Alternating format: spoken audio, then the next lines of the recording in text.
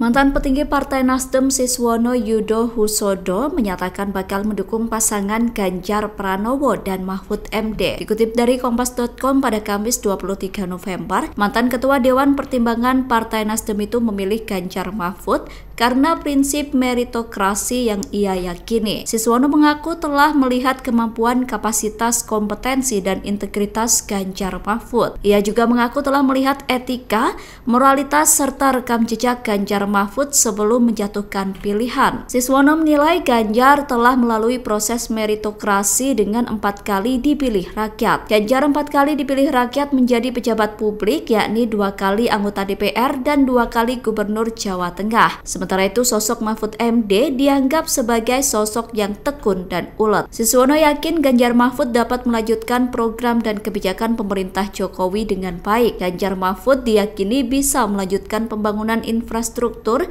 pemerataan pembangunan, hilirisasi hingga pembangunan ibu kota Nusantara. Download Tribun X sekarang.